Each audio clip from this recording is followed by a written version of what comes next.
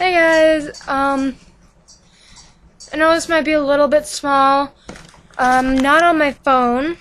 I decided I wanted to try something different and see how it would look off my laptop. Um, it might not come all the time from my laptop. It's probably going to be like almost half and half, but more on my phone so I can take it with me.